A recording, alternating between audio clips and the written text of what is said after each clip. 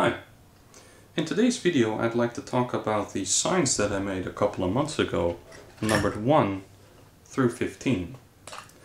These signs are fairly simple things, they're just a wooden plank with this 3D printed number on the front. And on the top here we have this chain that attaches to these eyelets here. So these eyelets are screwed into the wood on the side um, and of course they are in the center here and they are 50 millimeters from the side. Now it is quite important that they are in the center of the wood because if they are too close to either of the edges then you run an increased risk that the wood splits apart as you screw them in. And the distance on this end and on that side should be the same otherwise it looks fairly ugly. Now you could of course diligently lay that out using either some calipers or you could use a ruler or something like that. But what I want to show you today is this jig that I made. This jig has a hole over here, a hole on the other side, and these are used to guide the drill. And they have these edges on the back which allow you to index it to the size of the boards. So if I just go to the back of this board, you can just put your jig here and then you can drill right through those two holes. So what I'd like to show you now is that you can make one of these jigs very quickly and for a very low cost and it will dramatically increase the speed and accuracy of your work. Here we are in Fusion 360 to model this jig and I'll be moving fairly quickly here to show you that with a couple of shortcuts you can knock these out really fairly quickly. So create sketch on the bottom plane here make this 18 and 300 that's the thickness and the length of the material. And then we're going to create construction lines across the middle here and across the middle there. Make a circle I'm going to make it 3 millimeters plus a little bit just to uh, ensure that the drill will clear it. Make that 50 and then we're going to mirror this circle over this mirror line. Click OK finish the sketch E for extrude. Make that 5 millimeters to go Create a new sketch on the new top surface. Offset the outside by 5 millimeters. Create a line like so. And another line here. And then we're also going to create two lines over here. I'm going to make these lines 50 millimeters apart. And I'm going to make this line 25, let's say. That's not super critical. So that's one edge to index the part from the corner of the material and the other part to just index it on that end. So click OK, join. We're nearly done. I'm going to create a pipe here. So I'm going to make this 2 millimeters and this is just to ensure that there is a raised edge or a burr on the edge of the material that that doesn't completely mess up the indexing of the jig.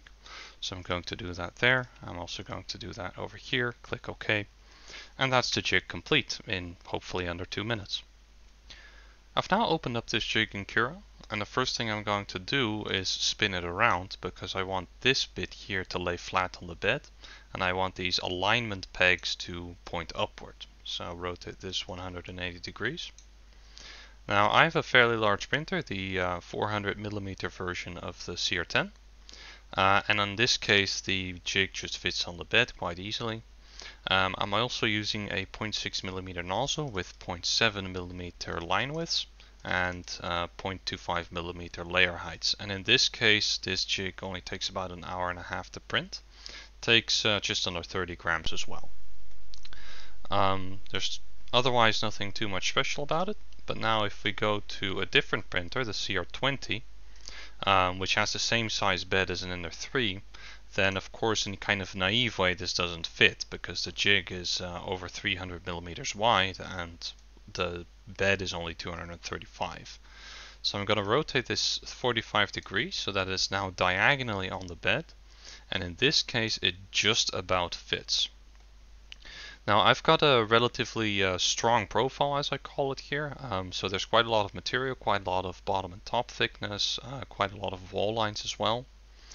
Um, so this now takes uh, three and a half hours to print. So that's a little bit on the long side of things. Now, um, in some cases you do want to have a bit of material around the holes. So you want a little bit of wall thickness.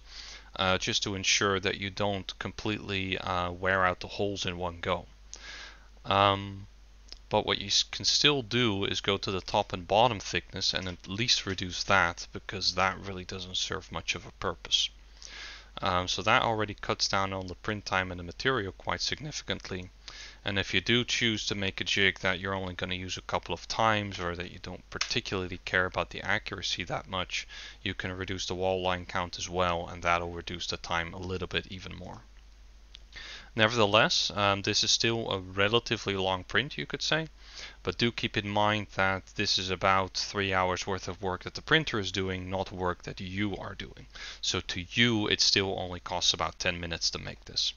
It's also still just under 30 grams, uh, so that's about 1 30th of a kilogram. So it's material wise, this is under a euro if you're doing it in PLA as I'm doing.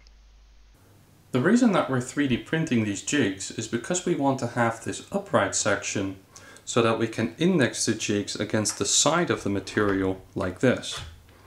If you don't need this particular feature, it is also possible to laser cut these jigs, which should be significantly faster than printing them. These two holes are of course according to the requirements I had for this particular sign, and that is something that you'll have to adapt to your own requirements. So for example, here I have a hexagonal hole pattern. And this is a pattern that's already quite difficult to lay out manually. And yet at the same time in Fusion 360 it's as simple as clicking circumscribed polygon inside of the sketch menu. As for durability, if you're drilling into wood you can expect these jigs to last about a dozen, maybe two dozen holes. But if you're drilling into metals you can really only expect them to last once. The problem is that as the drill goes into the material, it starts bringing the shavings of the material upward through this hole. And in the case of wood, that's not a huge issue because wood is about as hard as this plastic, so that doesn't eat away too rapidly. But if the shavings that are coming up are steel, then it will rapidly eat away at this plastic. And that is a problem that we've seen before with the shaft hole drilling jig.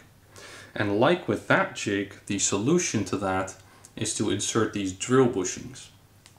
Now these drill bushings are made out of hardened steel, so any uh, steel shavings coming up don't eat away at this bushing particularly quickly. The downside to this is that these drill bushings cost about 2 to 3 to 4 euros per piece.